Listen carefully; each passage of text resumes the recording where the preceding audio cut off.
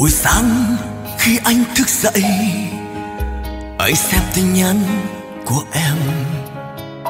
Thật giống như sét đánh bên tay. Em đã nói lời chia tay. Tự hồi lòng, tại sao như thế? Tình của mình thật quá đắng cay. Với anh, em chỉ là đùa vui sao trước, anh đâu có ngờ trong em sống rất hồn nhiên. Vì cớ sao em dối gạt? Anh không thể hiểu lòng em. Vì đồng tiền mà em như thế. Vì bạc vàng làm em đổi thay. Nỗi đau anh mãi giấu trong lòng.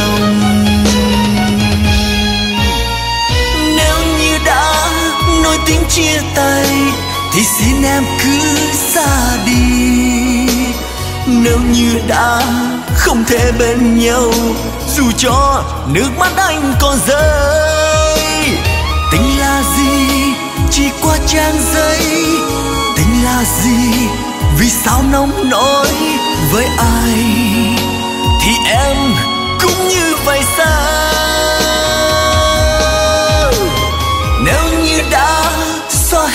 yêu thương thì xin em hãy quên đi. Nếu như đã không thể yêu nhau, dù cho mãi mất em từ đây, tình được gì, nào đâu ai biết.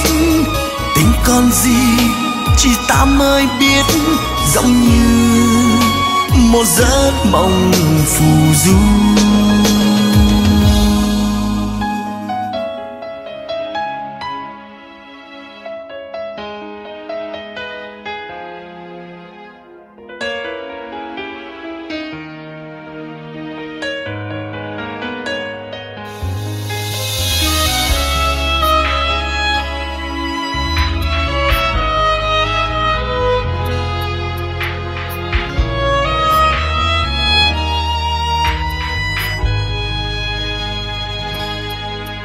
Ngày trước, anh đâu đâu có ngờ, trong em sống rất hồn nhiên.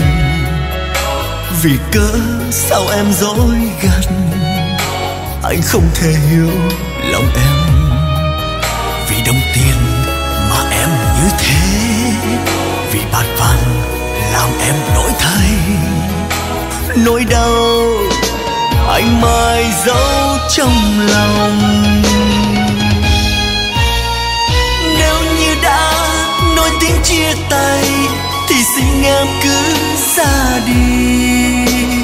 Nếu như đã không thể bên nhau, dù cho nước mắt anh còn rơi, tình là gì?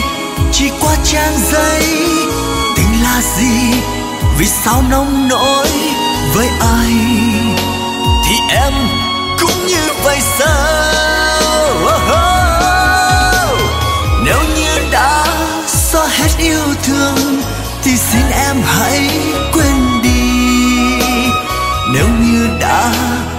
Không yêu nhau, dù cho mãi mất em từ đây.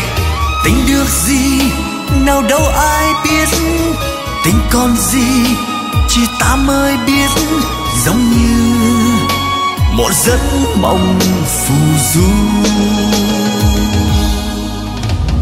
Nếu như đã xóa hết yêu thương, thì xin em hãy hãy quên đi. Nếu như đã không thể yêu nhau, dù cho mãi mất em từ đây. Tình được gì, nào đâu ai biết. Tình còn gì, chỉ ta mới biết. Giống như một giấc mộng phù